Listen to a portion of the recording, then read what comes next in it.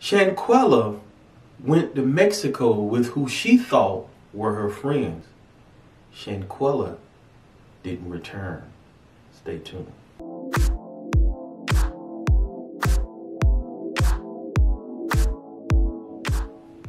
God bless you, friends. Thank you for joining me on Morning Nuggets on this Monday morning. I pray that each and every one of you had a great weekend, and I pray that this video finds you well. If you like what you will have heard before the end of this video, don't forget to smash that subscribe button.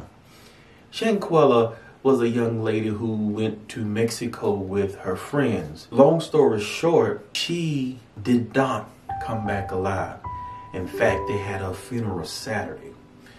One story said that she had alcohol poisoning. And then a video surfaced where a friend attacked her causing Shanquella to lose her life. Friend, that is unfortunate. Friend, we got to be mindful and we got to be careful about who is in our circle. Everybody who says they're your friend is not your friend. Some people in your life to destroy you because they're jealous. Some people have other agendas. Ask God to give you some discernment Watch the signs. Be aware because everybody who's close to you is not for you. And sometimes that can be family. It was unfortunate that Shanquella, and I hope I'm pronouncing the baby's name right, went to Mexico with a group of people. I'm sure she was comfortable and she trusted them. That's why she went on the trip, or else I don't think she would have gone. So they deceived her. I know they weren't her friends for this lady to take her life in an altercation. They could have talked it out if they were friends. And then somebody was in the room filming. That wasn't a friend. Because if there were other people there and they say they were friends, they should have stopped it and got in between it. So they didn't mean her any good from the beginning. And it's so unfortunate. A 25 year old young lady lost her life. And Saturday was the funeral that funeral could have been avoided. Friend, there's a scripture in the word that says, Know them that labor among you. And Paul was essentially talking about respecting leadership. But I like to take that in terms of being aware who is around you and who is in your circle. Having that discernment to know who's for you. And when you see signs, and if you get that gut feeling down you saying, hey, this person doesn't mean you no good, you need to ask that person to get away from you or you need to step away for something devastating happen.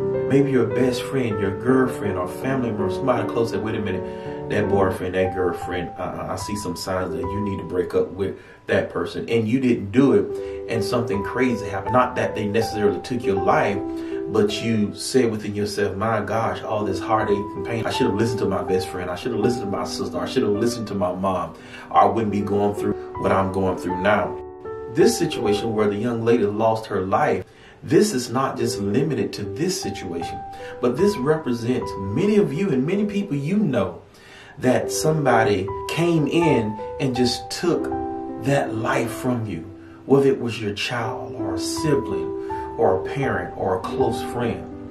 Some of you experienced the same hurt that this father is experiencing. And the father's very hurt. He said this is his only child. And I want you to listen to what he has to say. They left her there for the maid to find her. Don't you know how much of pain my daughter suffered for the injuries, you know, that she took? You know, she was smaller, smaller frame, man. You know, you know, for them to sit there and try to get her no help or nothing.